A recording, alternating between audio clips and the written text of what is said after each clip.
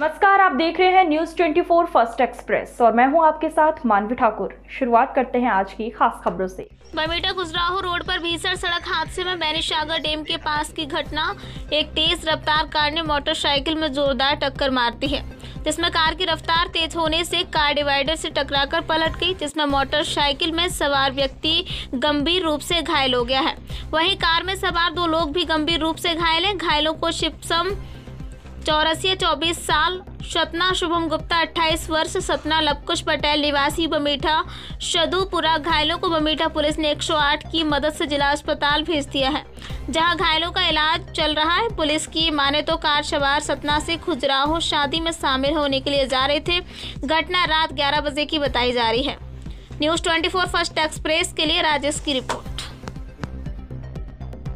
आज की खबरों में बस इतना ही, देखते रहिए न्यूज़ 24 फ़र्स्ट एक्सप्रेस। नमस्कार।